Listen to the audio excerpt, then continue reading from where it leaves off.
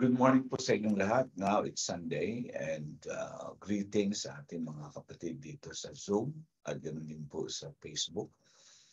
At tuloy po tayo sa topic na ating din-discuss. This is the part 3 of the message entitled Breaking Curses taken from the book of Dr. Francis Myles. Uh, last week, let's have a short review of what we have discussed last week we understand that the word generation is a compound word made up of two very powerful English words. The one is gene. It means the basic unit of genetics in a living organism. And also ration. It means a portion designated to a person or group, or it means to supply with a ration to limit or the specific allowance of something. So generation is a ration of genes. Okay. Next, the word curse is uh, meaning is something causing a misery or death, or they call it a hex or an evil spell, an appeal to some supernatural power to inflict evil on someone or some group. So based upon the above conjunctions, we can come up with the following probable definition of a generational curse. So a general curse is what? An evil spell that is attached to a person, ration of genes. Or a generational curse is an appeal to some supernatural power to inflict evil on a person or group. It is also mean a generational curse is something that causes misery or death that is attached to a person, ration of genes. So therefore, a generational curse is a demonic phenomenon that transport demons and demonic tendency to the second generation through the ratio of genes that the second generation received from the first generations. That's why sinabi ni Lord sa Exodus chapter 20, verses 1 to 5, that our iniquity has been what? The effect of the iniquity is from third to fourth generations. Because the enemy knows that if he attaches himself to the ration of genes, that we're passing on to our children, he will be able to multiply his diabolical influence in our children and their children, children. Okay? So remember his plan. His plan is to steal, to kill, and to destroy. The next word that we'll study last time is the word law. Diba?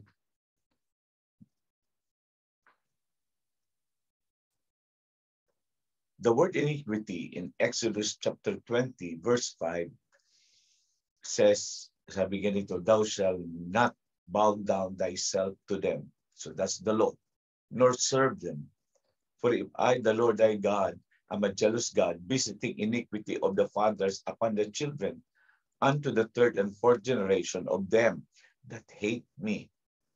So the word iniquity there, in the praise, refers to the acts of lawlessness or an act against God. So,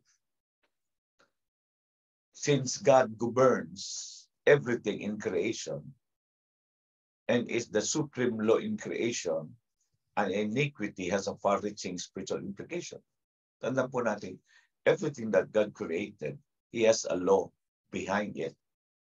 When He created the heavens, when He created the earth, there was a law, example, the law of gravity. When he created the heavens, there's also law. When he created the uh, Levitical priesthood, there was law behind it. So everything is what? Moved by law. So these iniquities that are committed by our forefathers against God's law opens the door for generational curses to succeed upon the future generations. So generation, generational curses are byproducts of violation against God's law. Nakuha po natin. So, in 1 Corinthians 15.56, let's see the dynamics of law. Sabi ron, the sting of death is sin, and the strength of sin is the law. So since generational curses are based upon the law of God, sin does not really exist where there is no law. Because it is the law that gives both the definition and the context of a crime. Okay? Gener generational curses would be useless if there is no law. Okay? Because the law is the strength of sin. But that's but this does not mean that the law is sinful. But without it, sin would have no power. Nawan niyo po. Halimbawa, sa Pilipinas, meron tayong tinatawag sa constitution na political dynasty. Ibig sabihin nito ay merong yung asawa, pag natapos yung terms niya sa office, papalitan siya ng kanyang asawa. And then pag tapos yung asawa, yun naman anak, papalit-palit lang sila. So ang tawag nila political dynasty. In the Constitution, it was mentioned, but the Constitution said that the Congress should pass an enabling law.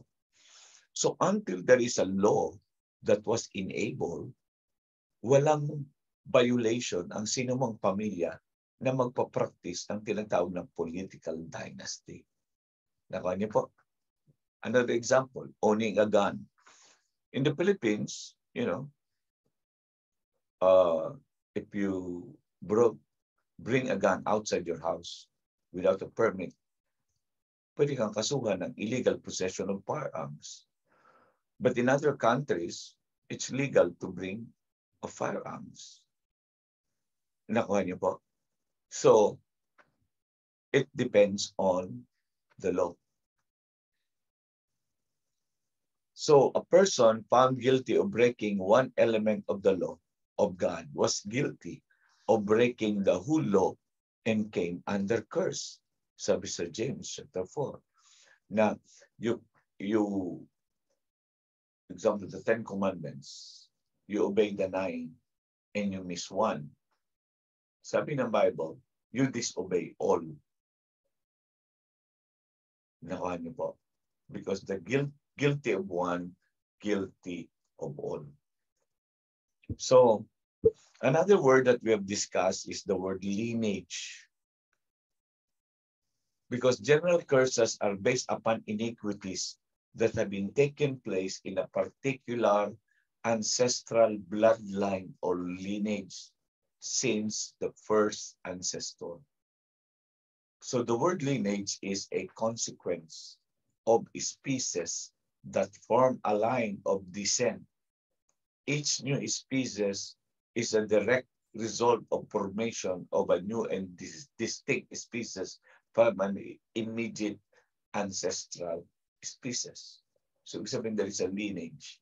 Ibig sabihin nung hindi lang mukha ang namamana mo or itsura ang namamana mo doon sa iyong mga ninuno, including your behavior, including the sins of the forefathers that they have committed, you have a tendency to commit it. Example, King Ahaz was an idolater. And when his son rose up to power, King Hezekiah, he was so determined to destroy the idols. But there is a point in his life that he compromised and he also uh, give in to idols. So any generational curse is based upon the lineage of a person who is affected by the same. So, yung gener generational ng ibang tao, hindi naman hindi ka man affected noon. Nakuha niyo po.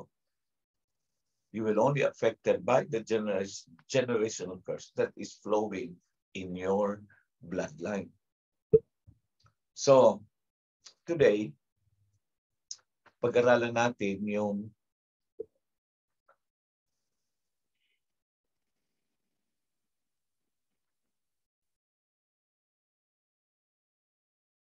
third part ng breaking of curses.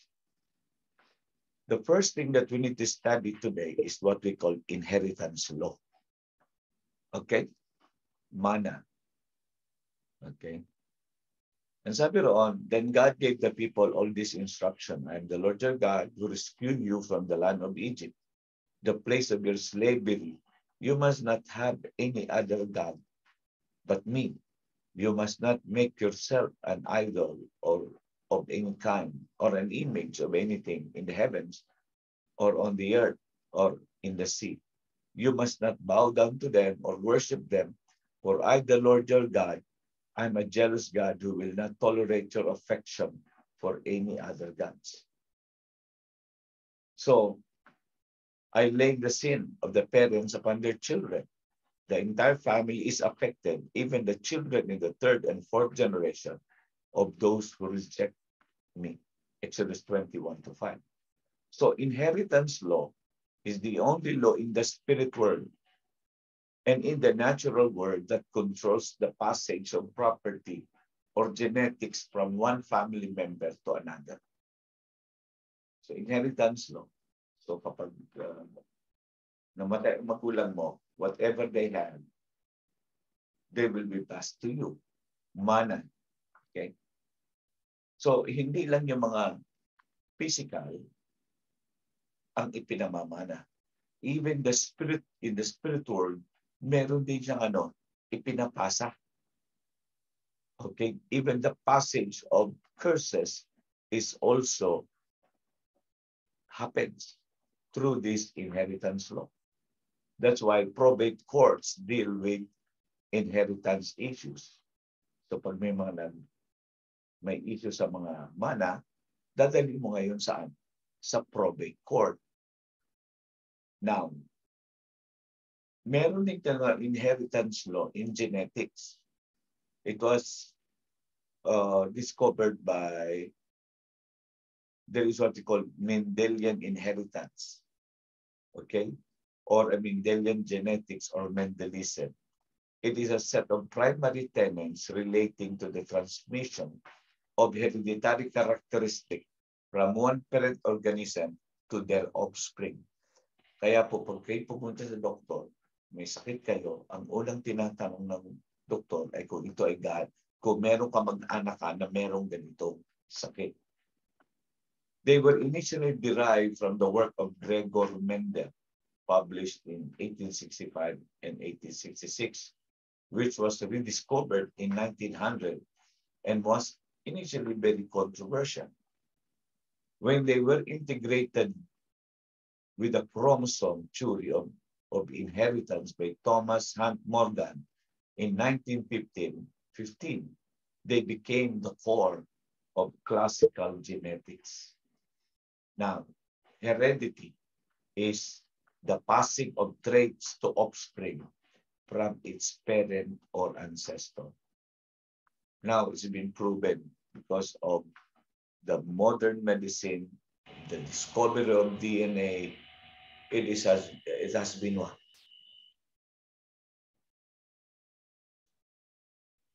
uh, discovered yung uh, tungkol dito sa genetics. Okay?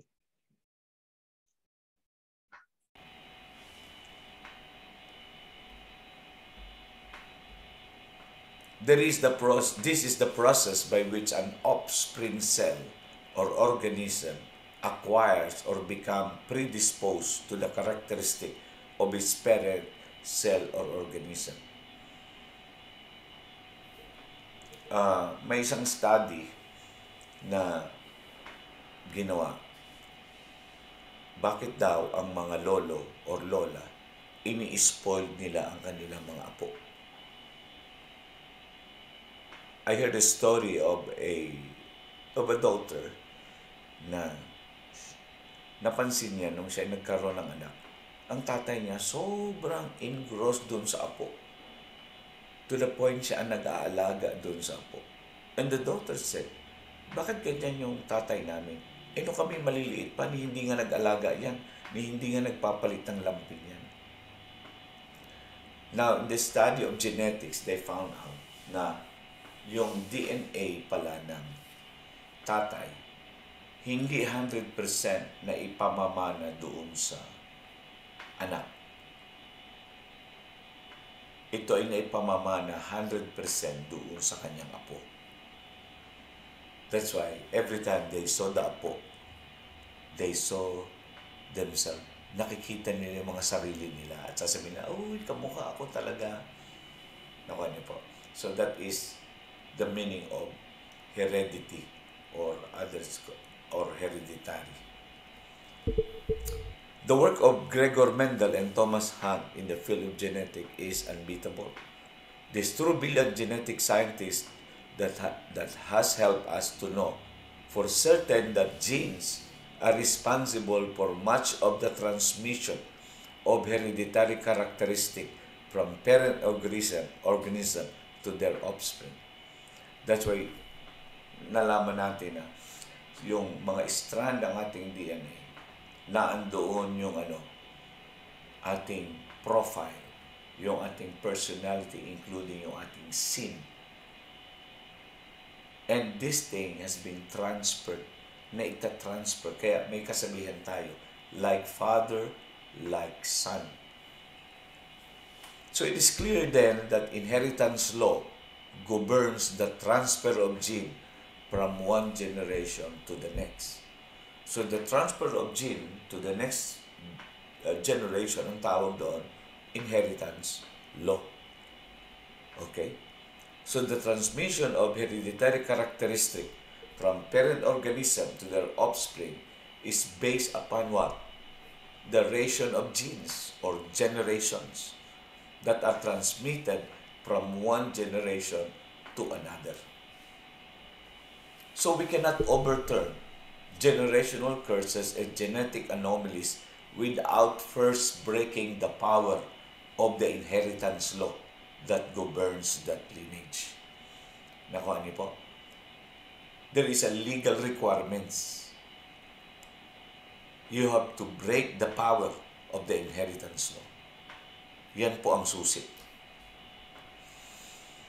Since generational curses are based upon iniquities that are attached to the ration of genes that a person inherited from their natural bloodline, we have to find a way to legally release people from their compromised ration of genes or uh, genetic mutations.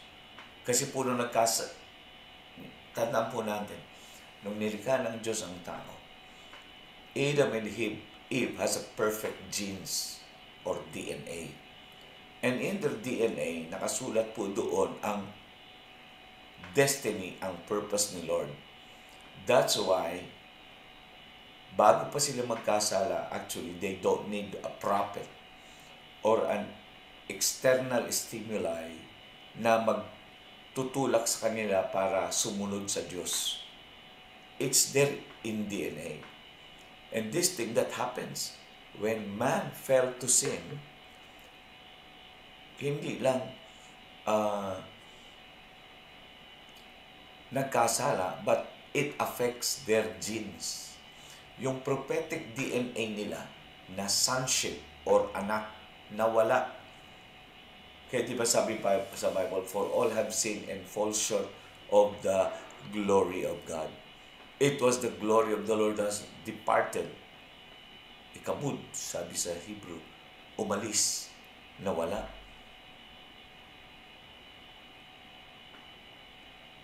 Nakuha niyo po.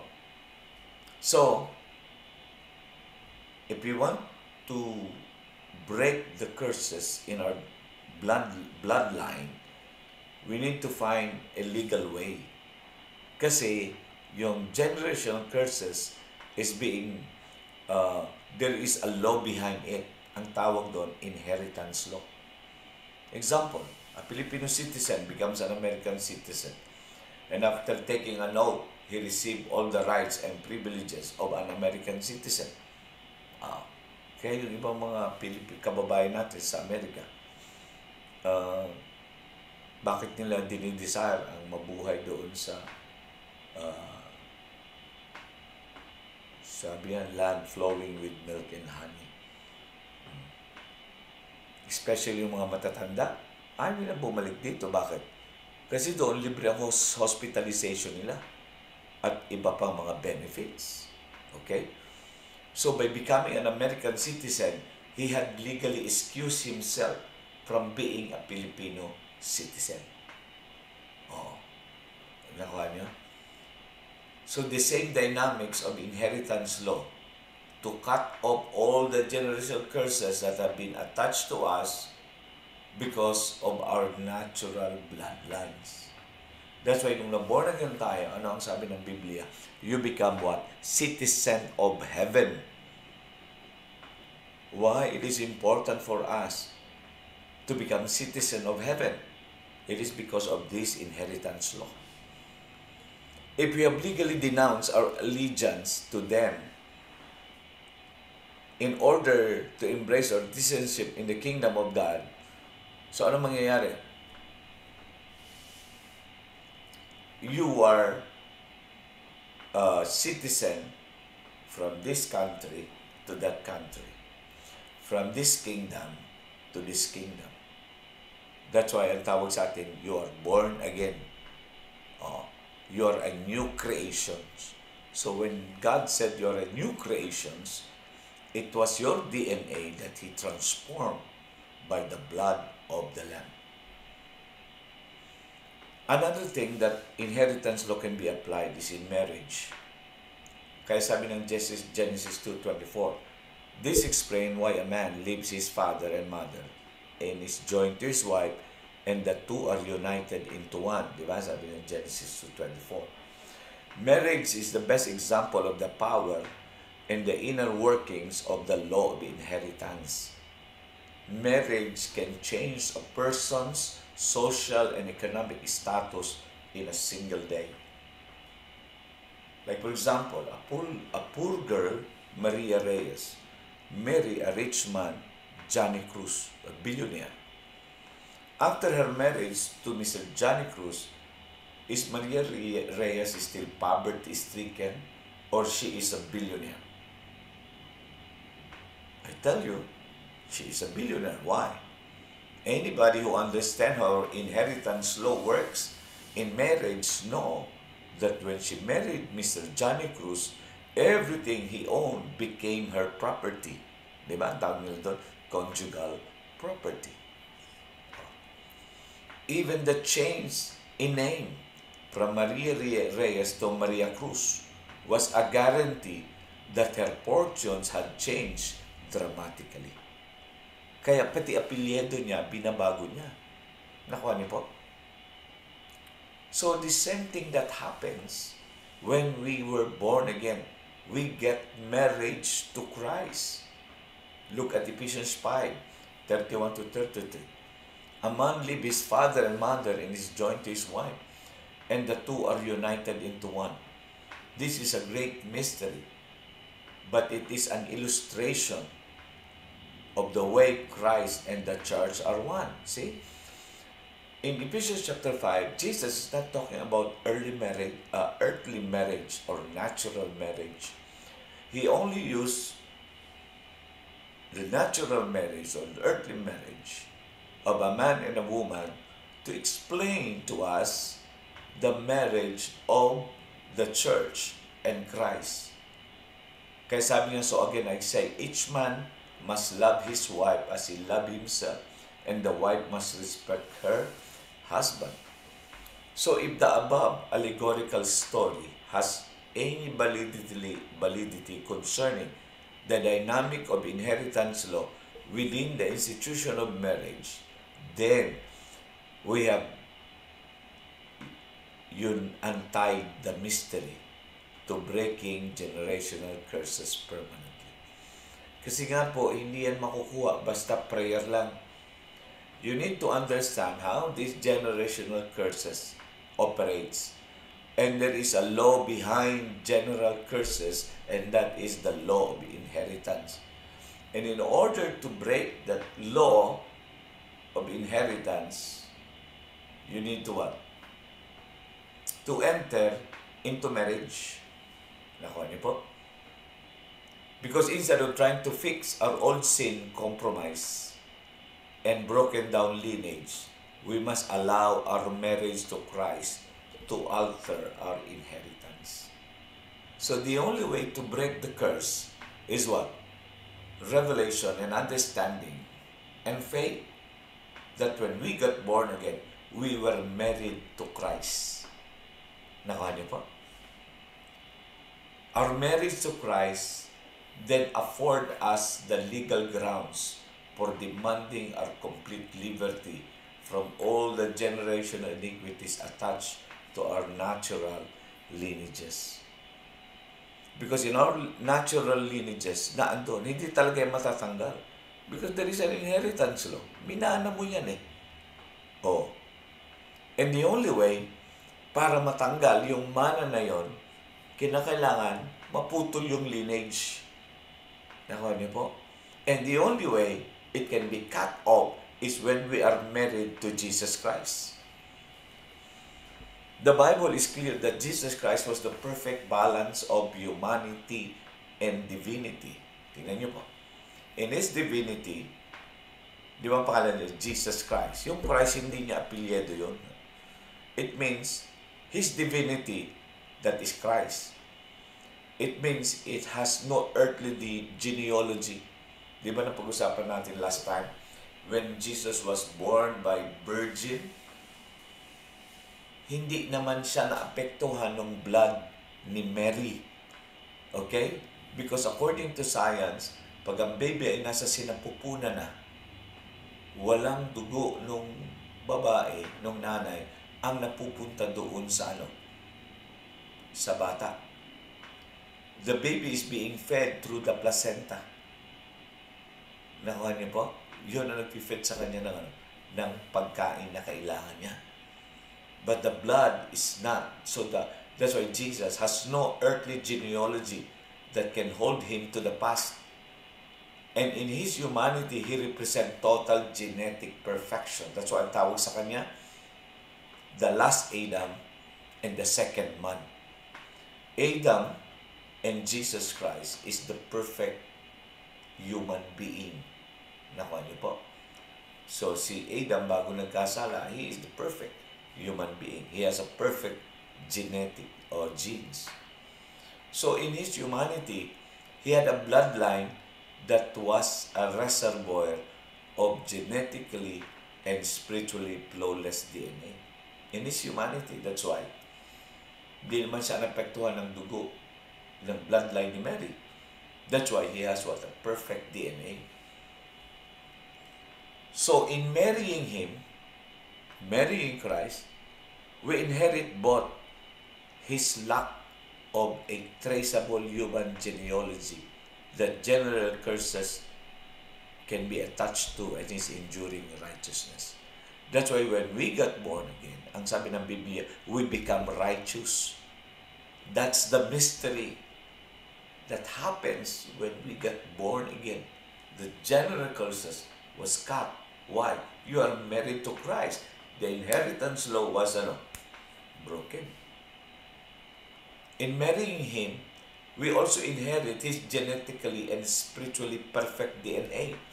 That's why it sabi sa 1 John chapter 4, you have the seed of Christ, the seed of God. That seed, in Greek is sperma. There we get the word sperm. So we have the seed of God in us, kaya tayo ay hindi dapat nagkakasala. Di ba? We already have the seed of Christ, which in turn becomes superimposed over our broken down or destroyed genetics. Eh, Pastor, bakit hindi pa rin nangyayari sa akin? It requires faith and revelation kung ano yung ginawa ni Kristo doon sa krus ng Kalbaryo. And I'm sharing this thing to you so that you can see the detail of the mystery of the blood, what the blood did to us. So the placement of His divinity on our humanity provide us with a release from any kind of generational curse. Hallelujah. That's why sabi ni Lord, Christ in you, the hope of glory. That is the only hope for us to be glorified, to be like Jesus, no other else. Wala na pong iba. Not even our own righteousness can do that. Hindi po. So the placement of His perfect humanity over, over our broken humanity provide us with the antidote that we need to heal every genetic anomaly in our life. Naniniwala ako ito. This one is a process. It is not a one-time, big time, or it is not a, you know, isang buhos lang. No, it is a process. Now, what happened is there was what we call supernatural genetic reconfiguration. When you get born again, when the blood washes your DNA, and when you get married to Christ, there was what? A genetic reconfiguration.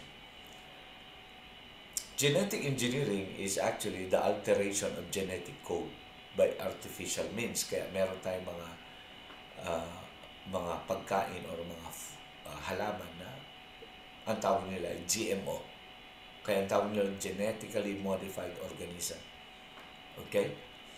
And this is therefore different from what? Traditional selective breeding. So God is able to heal, restore, and reconfigure mankind's broken down genetics. And God is able to overturn and repair any kind of demonic genetic mutation inside inside the human genome. Kaya niyang baguhin yan. Okay? Because Jesus has what? A perfect DNA. That's the power of the blood. So when you receive Jesus as your Lord and Savior and you believe what He has done on the cross of Calvary, that blood cleanses your what? Genes.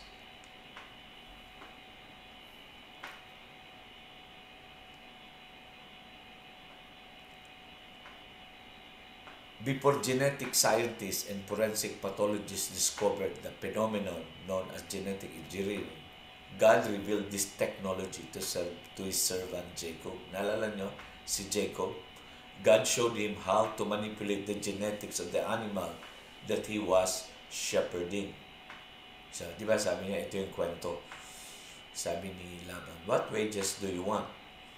Jacob replied, Don't give me anything. Just do this one thing, and I'll continue to tend and watch over your flock. Let me inspect your flock today and remove all the sheep and goats that are speckled or spotted, along with all the black sheep. Give this to me as my wages. In the future, when you check on the animals you have been given me as my wages, you will see that I have been honest if you find in my flock any goats without speckles or spot or any sheep that are not black, you will know that I have stolen from you. So, parang nagkaroon sila ng deal. Sabi niya, ang ibigay mo na lang sa akin ay yung ano, may spotted. Eh, alam ni Laban na kukunti lang yung spotted na yun. Kaya siya pumayag. And it will be, uh, sabi niya, but that very day, Laban went out and removed the male goats that were streaked and spotted, all the female goats that were speckled or spotted or had white patches and all the black sheep. He placed them in a care of his own sons, who took them a three days journey from where Jacob was. So, inalis sa kanya yung ano, mga spotted. So, ibig sabihin, yung mga susunod na spotted, na ibibreed nitong mga, ipapanganak nitong mga white na ito is what? Kanya. Okay? So meanwhile, Jacob stayed and cared for the rest of Laban's flock. Then Jacob took some fresh branches from poplar, almond, and plane trees and peeled off, stripped of bark, making white streak on them. Then he placed the peeled branches in the watering troughs, where the flock came to drink, for that was where they made them. So when they made them in front of the white streaked branches, they gave birth to young that were streaked, speckled, and spotted. See, it is the Lord who gave him that uh, wisdom. Oh, this is a way to what? To reconfigure the genes of the animals. So Jacob separated those lambs from Laban's flock, and at the mating time he turned the flock to face Laban's animals that were streaked or black. See, this is how he built his own flock instead of increasing Laban's. So whenever the stronger females were ready to mate, Jacob would place the peeled branches in the watering, watering troughs in front of them. And they would, they would mate in front of the branches, but he didn't do this with the weaker ones. So the weaker lambs belonged to Laban. So, and the stronger ones were Jacob's. As a result, Jacob became very wealthy with large flock and sheep and goats, male and female, servants and many camels and donkey. So, ibig sabihin, before, genetic engineering discovered the artificial uh, breeding. It was being uh, revealed to Jacob. After 20 years of working for his uncle, actually, and his father-in-law, who named Laban, Jacob was still living in abject poverty. Kaya naisip niya ito. Sabi niya, kung ako'y tatagal sa father-in-law ko, sigurado, pobre pa rin ako. And he's depressed and disturbed by his personal lack of financial achievement. So Jacob asked his father-in-law to let him go and back to his father's country. So balit si Laban, ayaw niyang pakawalan si Jacob because he's a productive employee. And Jacob told his father-in-law that he would work for him for a couple more years for a condition that he would allow Jacob to take as his wages spotted animals that came out as offspring of one colored animals. Alam yun ni ano ni uh, Laban na hindi pwedeng manganak ng spotted yung colored animals. Kung yung white, oh, hindi yan pwedeng manganak ng, ng spotted. Parang uh, yung Amerikano na puti, pagkatapos gusto mong magkaroon ng anak na ano, na black. Parang ganoon ang gusto mong mangyari. So he was sure that Jacob was going to be working for him for the rest of his life. Dahil sabi niya, hindi mangyayari na ikaw ay yayaman sa ganyan mong uh, uh, parang deal mo sa akin. So Jacob told Laban that he wanted him to take every animal among his livestock that was spotted in any form or fashion and remove them far away from Jacob. Kaya yung mga inaalaga niyang spotted, sabi niya, alisin mo na yan. Kasi baka dumating time, ako nagnakaw sa iyo. Okay? So, this meant that Jacob would only be taking care of animals that had one full color. Kung hindi?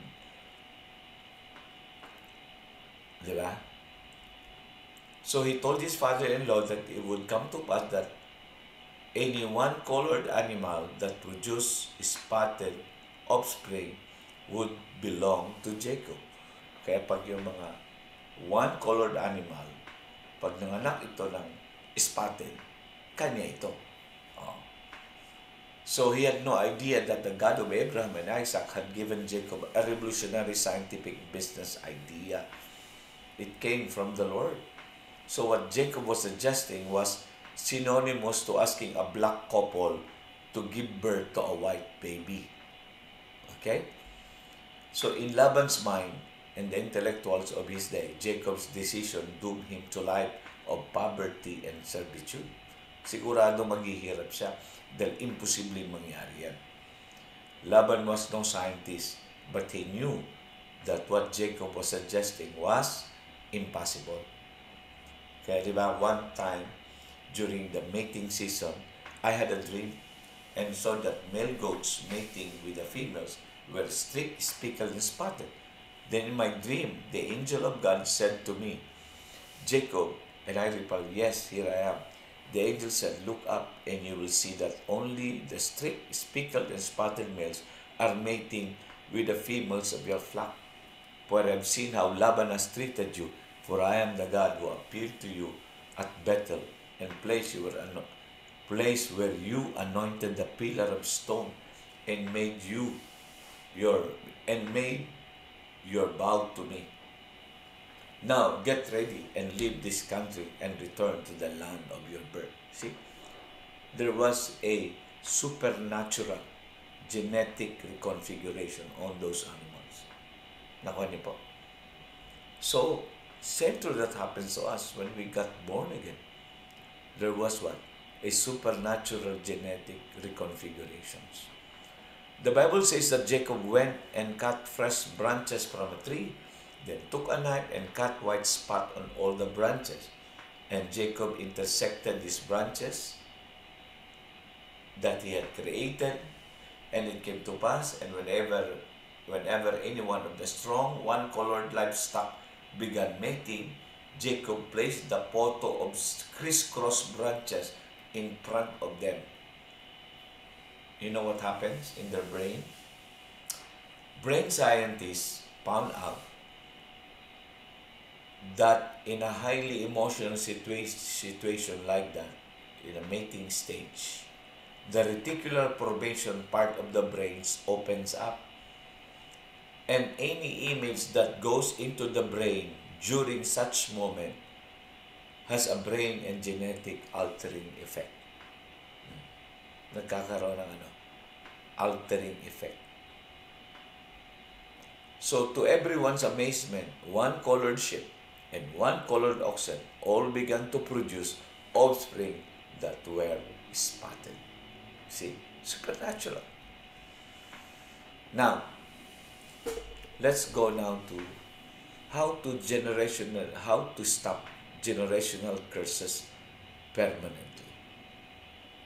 Sabi nun, though I might also have confidence in the flesh, sabi ni Paul, if any other man thinketh that he had whereof he might trust in the flesh, I more circumcised the eighth day of the stock of Israel, of the tribe of Benjamin, and Hebrew of the Hebrews, as touching the law of Pharisee, concerning seal, persecuting the church, touching the righteousness which is in the law, blameless. But what things were gained to me, those I counted loss for Christ. Yea, doubtless, I count all things but loss for the excellency of the knowledge of Christ. Jesus my Lord, for whom I have suffered the loss of all things, and do not count them but dung, that I may win Christ. So Paul's definition of the word flesh is very, very different to what most of us could consider flesh. Most believers were confused. The works of the flesh that Paul listed in the fifth book of Galatians with the word flesh that he mentioned in Philippians 3, 4 to 8. Magkaiba po yung works of the flesh at saka itong flesh na ito. According to Philippians 3, 4 to 8, the flesh and the works of the flesh are not the same. The works of the flesh are like the fruit of the tree, whereas the flesh is the root system of the tree. That's why the only way you can change the fruit is you change the root. There is a saying, you change the root, you change the fruit. This means that you can never change the fruit of any tree if you are unwilling to change the root. Okay? This is because the life of any tree is found in its root system. So yung minimension ni Paul sa Philippians 3, 4 to 8 is the roots. The root system. And in Galatians chapter 5, that is what? The fruit or the works of the flesh. Sabi ni Paul, Paul lists the following things that he considered to be flesh. His pride over being circumcised the eighth day. Di ba? This represent a religious pride. His pride at being of the stock of Israel or he belongs to a nation of nation of Israel. This represent the pride of nationality. Next, his pride of being the tribe of Benjamin. This represent tribal pride. Diba? His pride at being a Hebrew of the Hebrews. So this represent family ancestry. His religious fervor as touching the law, a Pharisee. So what is this? This represent the pride of social status. Concerning zeal, persecuting the church. This represent religious zeal without knowledge. Then touching the righteousness which is in the law, blameless. Yes, why is blameless? Because he strictly followed the law. So what is that? This represent self-righteousness. So everything that, that, that the Apostle Paul lists above are the very things that most believers, including us, fight to maintain. We want to maintain this, this kind of pride. Yeah. Pride, religious pride, pride of nationality, the tribal pride. O, oh, di ba? Bisaya ako, Bicolano ako, di ba? Tagalog ako, di ba? The pride of ancestry, the pride of social status, di ba? So, for instance, being proud that you are a Baptist, or a Charismatic, or a Pentecostal, or a Methodist. Di ba? at the expense of what you are in Christ is an example of religious pride. We are not Baptist, we are not charismatic, we are not Pentecostal, we are not Methodist. We are sons of God. That is our identity. That is our prophetic DNA. Sonship. You are sons of God. And the Apostle Paul, the Apostle Paul calls such religious pride as what? Flesh. So everything that the Apostle Paul lists is historically what has led to many wars and cultural divides over many centuries. Yung sinabi ni Paul na yun, that the one that divides the nations. Not only the nations, but congregations, churches. And it is also it is available to every human being apart from Christ. So this pride is available to all human being. Nawawala lang yan kapag you are one. You become one with Christ. So, but it is not possible for us to be separate permanently from generational curses and genetic anomalies if we are too proud of who we are in the natural apart from who we are in Christ. So if you're very proud that of these things that we have, we will fail to be, to be set free permanently from these general curses. Di ba ano sabi ni Paul? like to go back. Sabi niya, I count all things but loss for the excellency of the knowledge of Christ Jesus my Lord. For I have suffered the loss of all things He lost it. He let it go. This pride. Nakuha niyo po? At sabi pa niya, and I count them but dung. Oh, itinurin ko silang ano, basura. O tain ng hayop. Yun ang ibig sabihin ng dung. So that, sabi niya, that I may win Christ. In other words, you do not want to be in Christ what you are already in the natural. So, what Paul is saying, that pride that is in the natural, So if you're in Christ, dapat wala na yung mga bagay na yun. And yet, if we do not count a loss everything that we were before God placed us in Christ, we can never find a complete freedom that we seek from general curses. So we have to let it go. That is the key. You have to let it go. What you already are in the natural. Oh. Ongoing and permanent freedom from generational curses and genetic anomalies will escape us if we do not stop worshiping who we are in the natural. That's why, di ba, we discussed to you last time about idolatry. Uh, if we don't stop worshiping who we are in the natural. That's why for me, the greatest doctrine in the New Testament is Colossians 2.27. Christ in you, the hope of glory. So giving up our allegiance to our corrupted, genetically compromised lineages to embrace Christ's bloodline should be an easy choice. But the truth is, it's hard for us to let it go. Di? Now, how are we going to overturn the power of the inheritance law? Look at this in Romans chapter 7.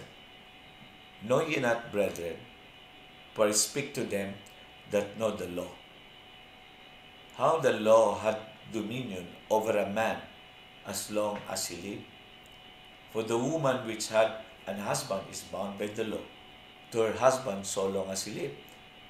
But if the husband be dead, she is loose from the law of her husband. So then, if while her husband lived, she married to another man, she'll be called an adulteress. But if her husband be dead, she is free from the law. So, she is no adulteress, though she be married to another man. Wherefore, my brethren, you also are become dead to the law by the body of Christ, that you should be married to another, even to him who is raised from the dead, that we should bring forth fruit unto God. Romans 7.14 So how can we be set free from the tyranny of generational curses and genetic anomalies? We have to overturn the power of the inheritance law over our lives. At sinabi ni Paul na ano, that the law has dominion over a person as long as he or she lives. And a woman with a husband is bound by the law to her husband as long as he lives. So, kinumpara ni Lord na tayo daw po, habang tayo nabubuhay, the law has dominion over our life. Remember that the sting of death is what? Is sin. And sin is without the law ay walang kasalanan. Okay? Kaya sabi ni Lord, so yung, yung babae, hanggat buhay ang kanyang asawa, he is bound by the law to her husband. So pag nag-asawa siya ng iba, he will be accused of adultery. Pero kung mamamatay yung asawa, if the husband dies, the woman is lost from the law of her husband. So while her husband is still living, a woman who marries another shall be called adulteress. But if her husband is dead, she is free to marry another. So anong ginawa ni Jesus Christ? Sabi dun sa Romans 7, born-again believers have died to their first husband. When Jesus died, we died. Bakit tayo ginawa ni Lord na namatay kasama niya? So that we can marry to another husband. And that is Christ. Nakuha niyo po? So, born-again believers have died to their first husband. That is the old nature and its deed. That's the law. In order to marry Christ. And the Bible calls it the flesh or the old man. So while we were married to our old nature, the law of sin and death, yan ang sabi ng Bible, had complete dominion over us. Coincidentally, the law of sin and death is same law that governs every life form in the universe that is under the power of sin. This means that the law of sin and death is the primary law that governs generational curses and genetic anomaly. Yan yung sinasabi ni Paul sa law of sin and death na may mga bagay kung mabubuti na gustong gawin hindi ko magawa. Subalit may mga masasama ako, ayaw kong gawin pero yun ang nagagawa ko. Sabi niya, hindi, hindi na ako ito. But the sin that is in me, that is the law of sin and death. So anong ginawa ni Lord? Kasama niya tayong pinatay. When Christ died on the cross, kasama kang namatay.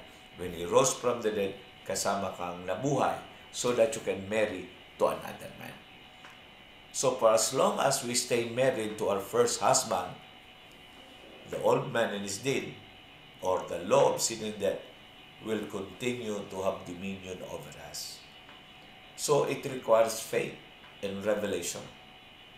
Because the word dominion means to rule over something.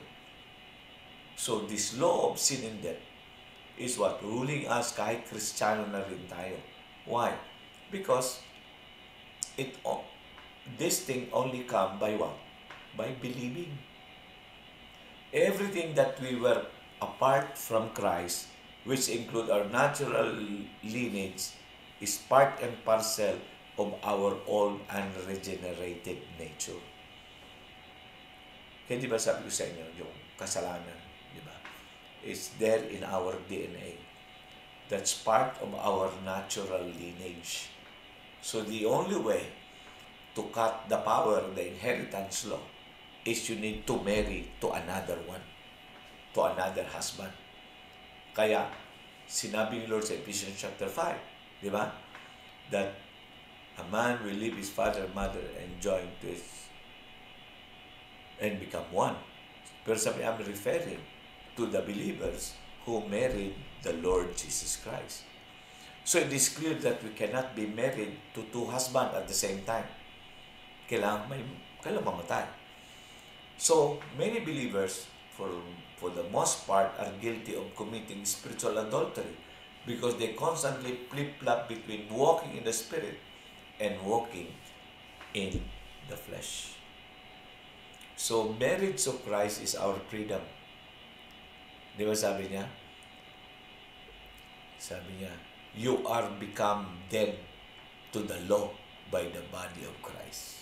So when Jesus died, you died. Para no daw? So that you should be married to another, even to him who raised from the dead, that we should bring forth fruit unto God. So kinonfirm ito ni that we were we, that every believer becomes uh, we're married to the Lord Jesus Christ. Kaya nga ang tawag sa atin na ano, bride of Christ. The solution to our complete deliverance, which can overturn and reverse the power of the inheritance law in our favor, stares us in the face. It's in our face lang. Kaso lang hindi natin makita. Our marriage to Christ offer us the ultimate solution. So if we choose to put to death our old nature or our first husband, the institution of marriage is the fastest way to change the inheritance of any human being. Diba? Na-explain ko sa inyo kanina na a woman or a man may be living in abject poverty, but should she marry or she marry a rich spouse, she immediately become a well become wealthy from the moment she say I do. Nakuha niyo po? That is because of the inheritance law. So if we die to the flesh, which our first husband, the law of sin and death, has no more power over us. Why? Because you are married to a new husband. We are free to marry another.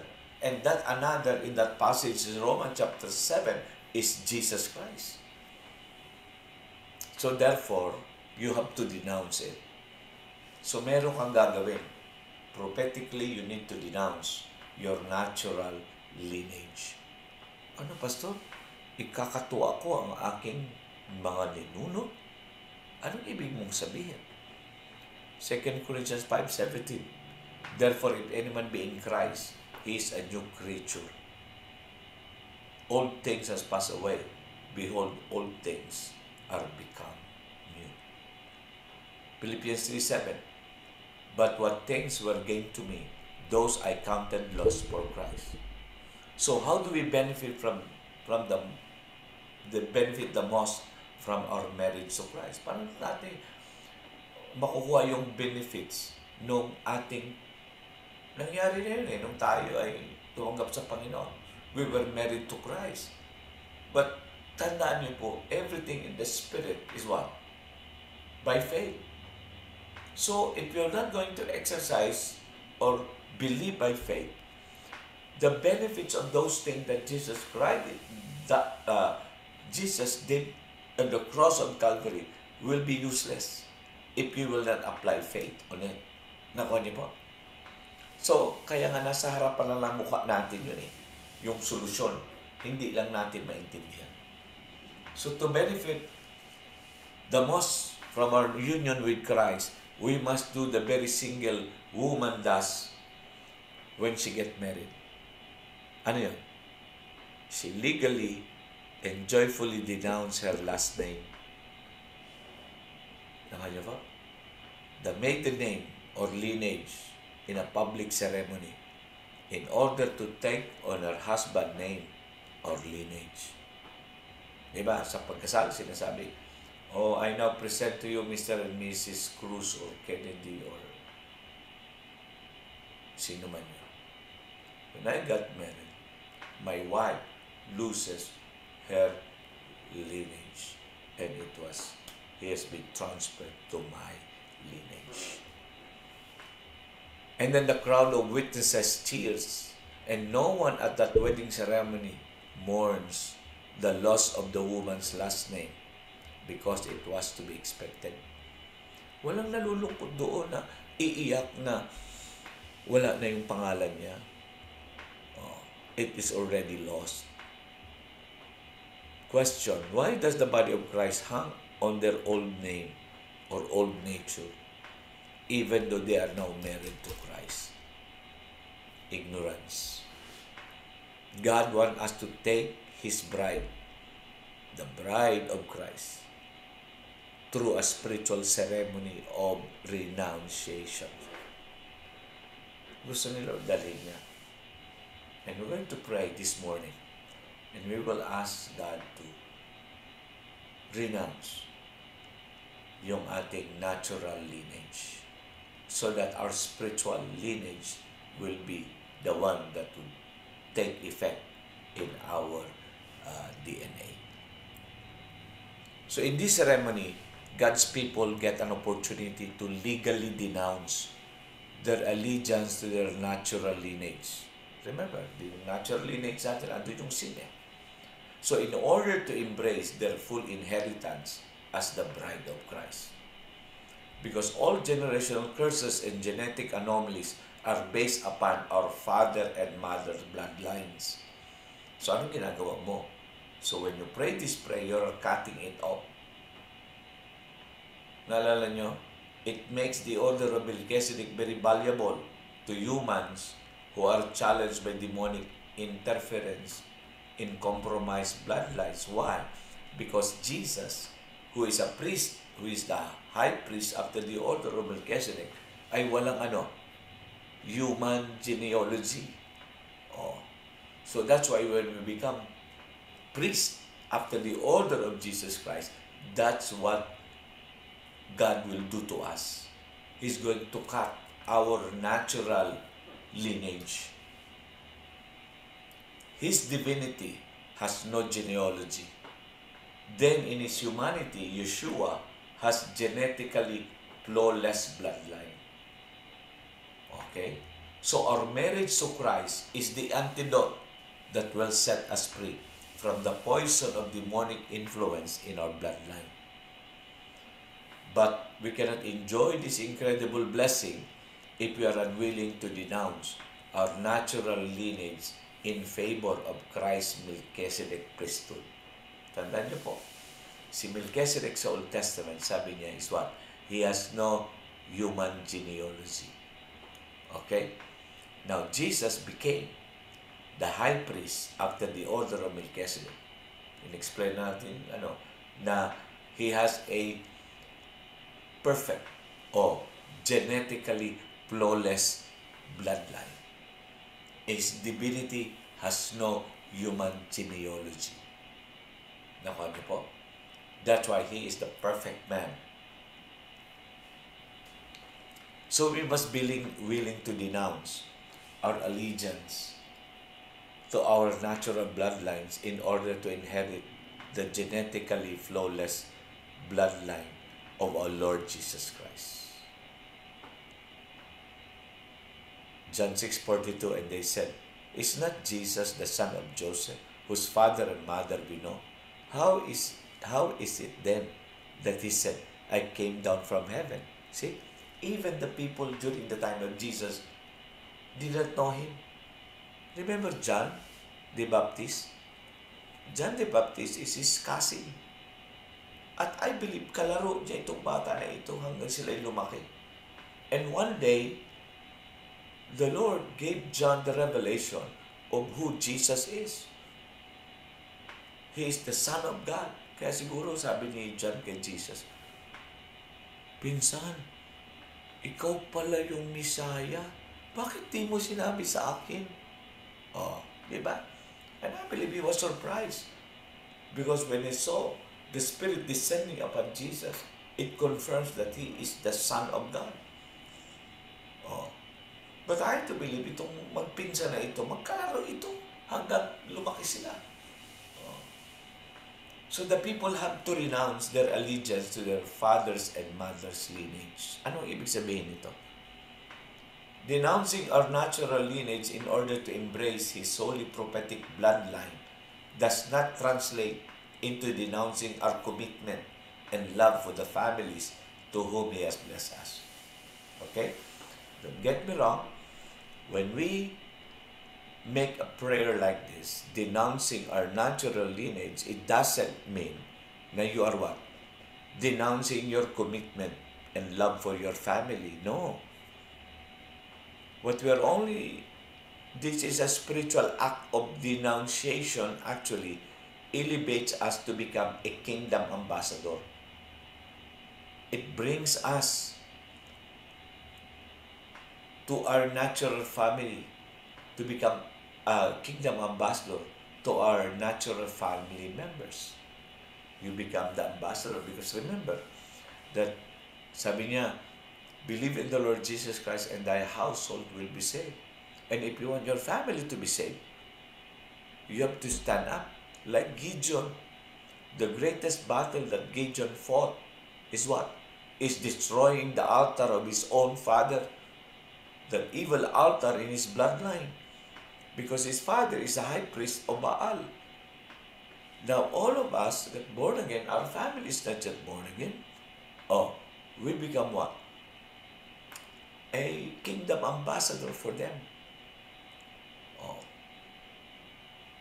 So, what do you call an official who represent his government on a foreign soil?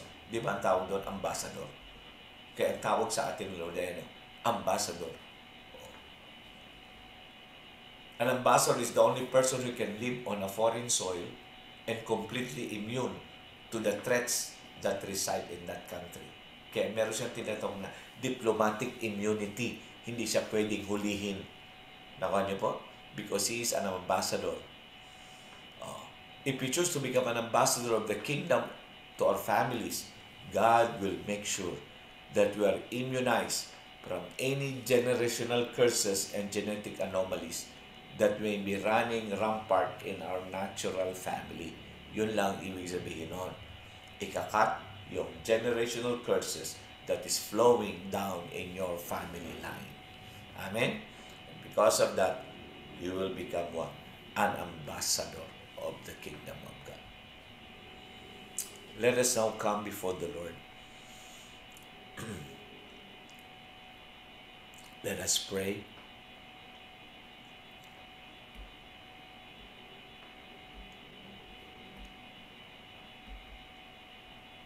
allow Him to Speak to us.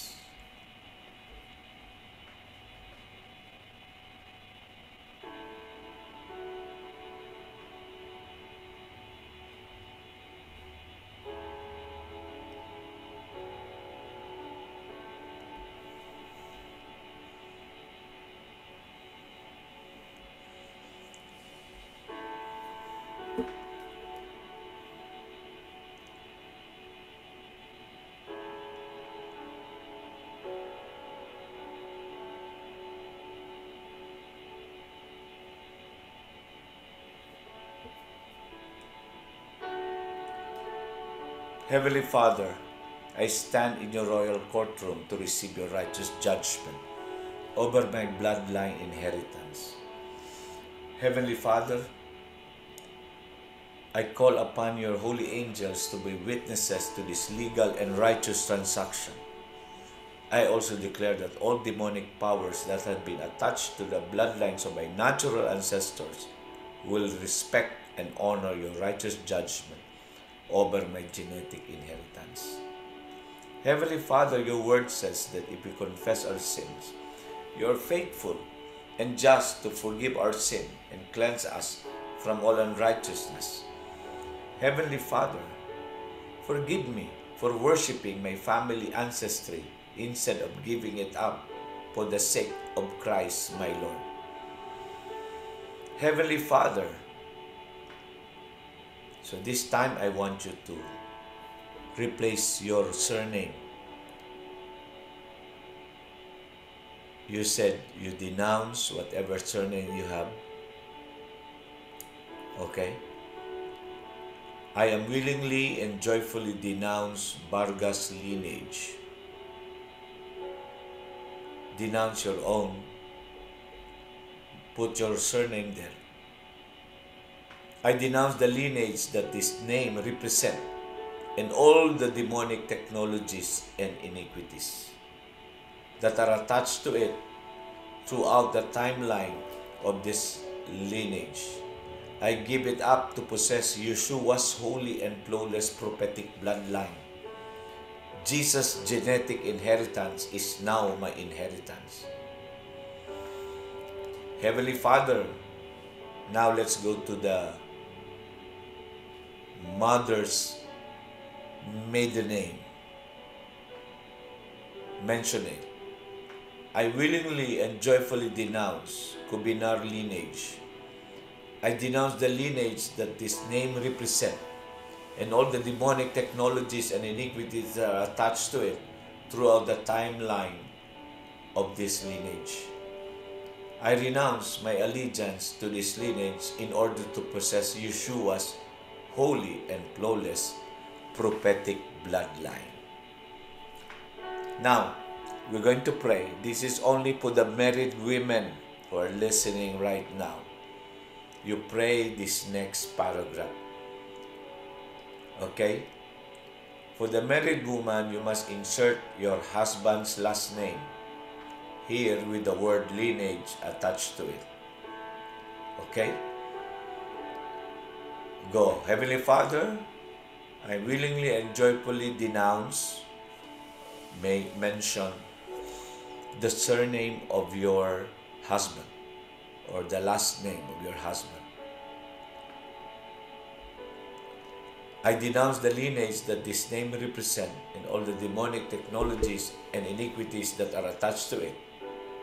Throughout the timeline of this lineage, I renounce my allegiance to this lineage in order to possess Yeshua's holy name, flawless prophetic bloodline. Now, this is only for those who never knew their biological par- parents. So if you are if you don't know your biological parents, you can pray this prayer. Heavenly Father, I do not know my biological parents even though I bear their genetic inheritance, but you know my biological parents. Therefore, I trust you to free me from any iniquity attached to my bio- biological parents' lineage.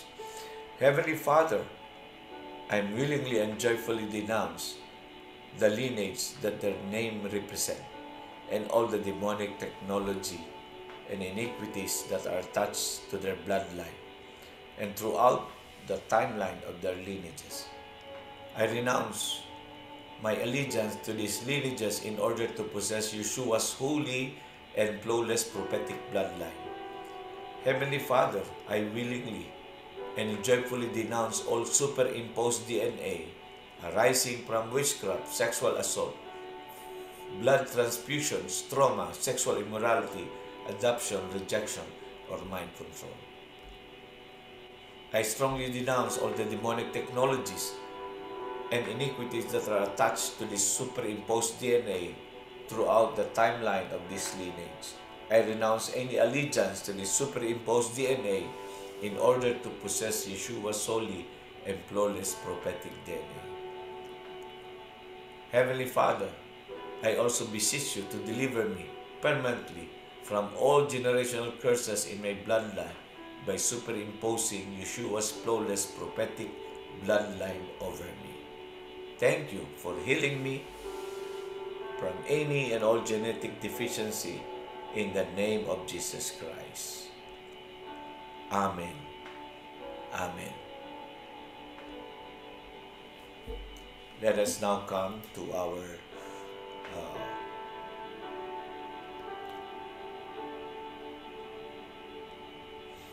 communion.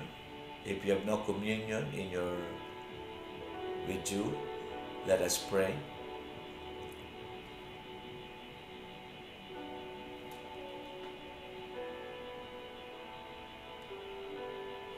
For I received from the Lord what I also delivered to you, that the Lord Jesus, on the night that he was betrayed, took bread, and when given time, he broke it and said, This is my body which is for you.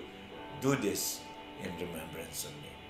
You cannot take the bread.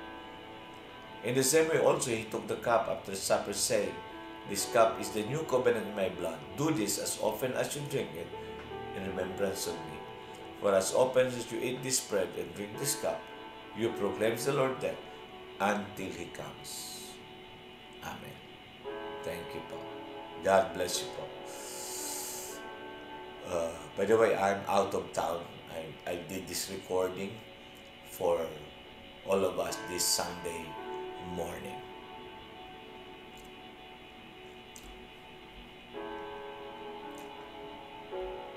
Let us now give our offering and remember that the offering that we gave unto the Lord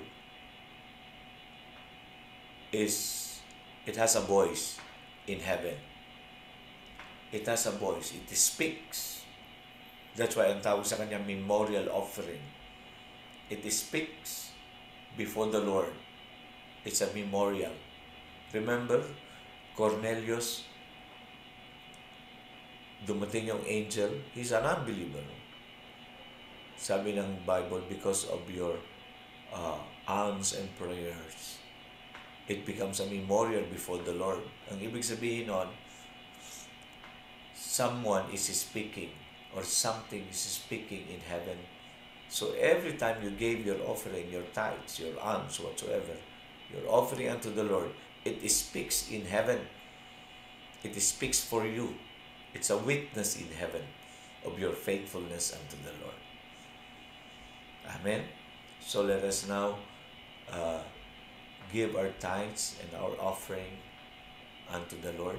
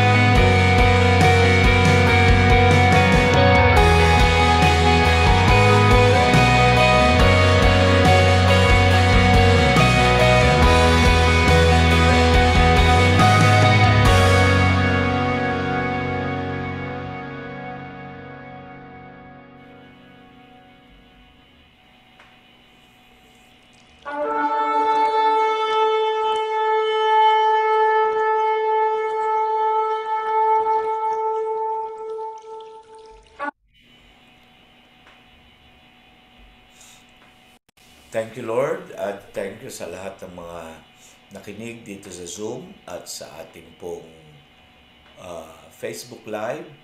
Thank you very much and see you next Sunday. And we will continue to uh, study this breaking of curses next Sunday. God bless you and good day sa inyo.